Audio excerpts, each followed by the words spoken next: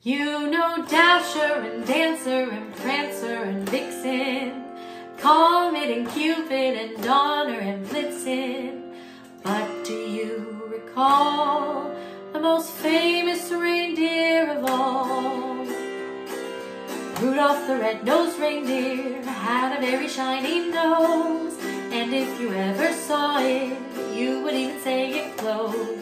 All of the other laugh and call names.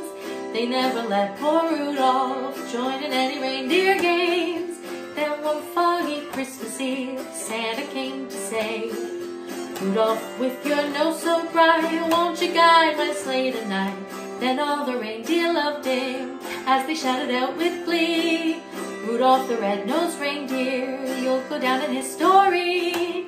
Then one foggy Christmas Eve, Santa came to say, Rudolph, with your nose so bright, won't you guide my sleigh tonight? Then all the reindeer loved him as they shouted out with glee.